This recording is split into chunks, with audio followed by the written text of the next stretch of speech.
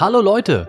In diesem Video erzähle ich dir die Geschichte von einer Frau, die dachte, dass ihr Hund von Insekten gebissen wurde, doch beim Besuch des Tierarztes erfährt sie die schreckliche Wahrheit.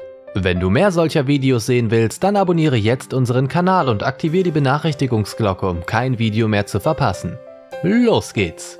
Insektenbisse und Parasiten sind für Hunde nichts Besonderes und gerade wenn die geliebten Haustiere im Sommer draußen spielen, denken sich ihre Besitzer meist nichts Schlimmes dabei, wenn ihr Liebling mit der ein oder anderen Wunde nach Hause kommt. So ging es auch Hayden Howard aus Amerika. Gemeinsam mit ihrem Sohn Noah und ihrem Hund Jackson lebt sie in einem kleinen Haus mit Garten, in dem sie Jackson gern spielen ließ. Doch an diesem Samstagnachmittag im April schien etwas Komisches vorzufallen.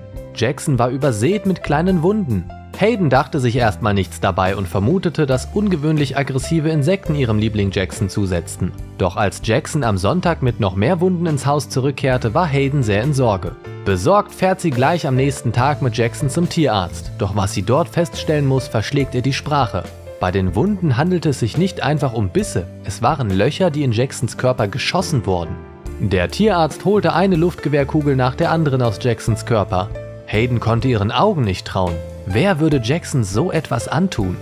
Wie konnte sie es nicht bemerkt haben, dass ihr Hund angeschossen wurde?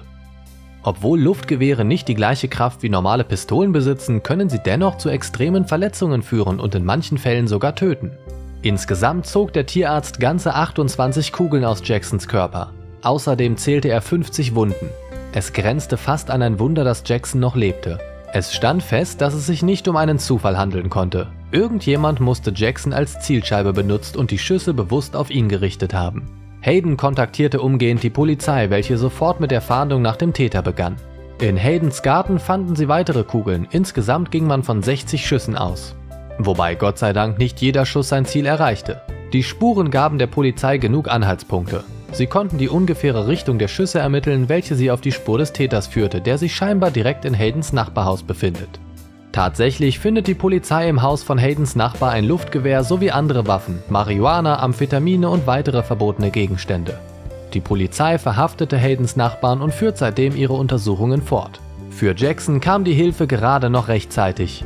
Er überlebte die Schussattacke auf ihn und konnte mit Hilfe der ärztlichen Versorgung wieder voll hergestellt werden.